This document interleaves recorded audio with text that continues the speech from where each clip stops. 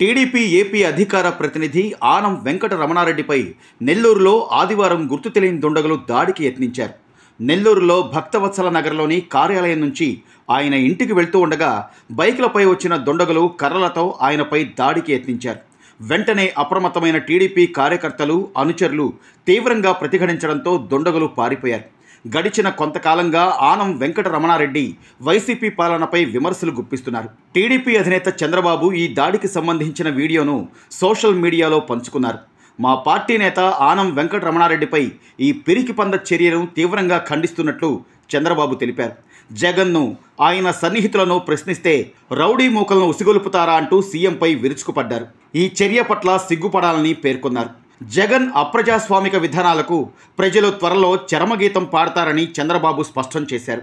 కాగా నిలిపి ఉంచిన వాటర్ ట్యాంకు చాటు నుంచి కొందరు వ్యక్తులు కర్రలు చేతపట్టుకుని దాడి చేయడానికి రావడం వారిని వెంట తరుముతూ ఆనం తదితరులు ఎత్తించడం ఆ వీడియోలో కనిపించింది. ఆనంపై దాడి విషయం తెలుసుకున్న మాజీ మంత్రి సోమిరెడ్డి చంద్రమోహన్ రెడ్డి టీడీపీ నేత కోటంరెడ్డి గిరిధర్ రెడ్డి తదితరులు అక్కడికి చేరుకున్నారు.